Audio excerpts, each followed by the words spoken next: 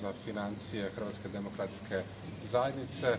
Tu smo da i našim članovima odbora objasnimo situaciju oko mirovinske reforme, što je vlada sve napravila za umirovljenike, da su mirovine raste 7,54%, da će rasti najniže mirovine 3,13%, da smo ispravili nepravdu za 3000 žena koje bi ove godine imali 100 eura manju mirovinu samo zato što su rođene 62.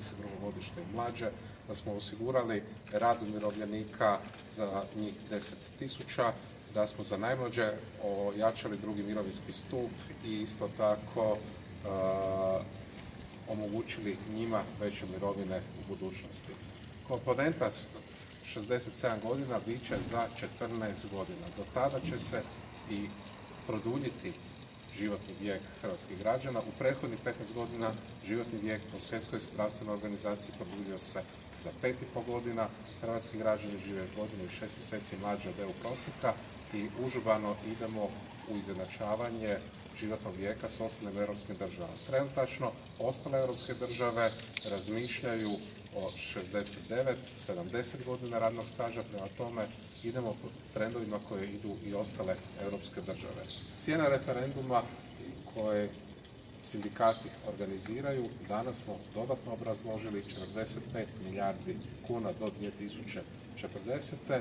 koji će imati efekt do 5 do 7% manje mirovine ili dug od 45 milijardi kuna našoj djeci i Ima li otpora unutar stranke ili nerazumijevanja jer nije baš uobičajeno da ovako predstavljate reforme ili zakone stranačkoj članstvu? Već smo stranci, odnosno predsjedništvu i svim stranačkim tijelima predstavili reforme koje i uobičajeno da se sve reforme prije nego što dođu u Sabor predstave stranačkim tijelima. Tako smo sa mirovinskom reformom u 11. mjesecu prije upućivanja u saborsku proceduru. Ovo danas još jedan put predstavljamo čisto zbog toga što, ne mogu drugčije reći, i ovaj referendum koji je demokratsko pravo, ali uključuje se u kampanju za europske izbore.